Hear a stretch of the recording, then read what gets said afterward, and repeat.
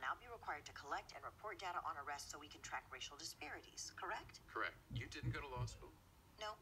And local and state police departments will now be required to conduct racial bias training, correct? Correct. You're sure? About law school? Yes. Not even like a semester? No.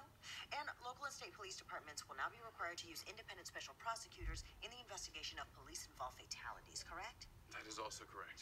So, I have a question. How do we enforce it? What? Any of it. All of it. In this bill. Well, it's a law. Those are all requirements under the law. They're mandatory. Which means there has to be a way to enforce them or they're not mandatory, right? If I say to Casey, clean your room, which I usually don't say because Casey is really good about that, but if I do and she said no, which again, she wouldn't, but if she did and I don't have any way to make her clean her room, then I'm really not saying clean your room. I'm asking her to clean her room. It's a request, not a requirement. Yeah, I'm sorry. Who's Casey? My daughter, she's 10. The federal government spends $4 billion a year in various grants to state and local police departments. Why don't we condition that money on doing the things in this bill? Because if we do that, the things in this bill will actually get done. If we don't, this whole bill is a bunch of requests.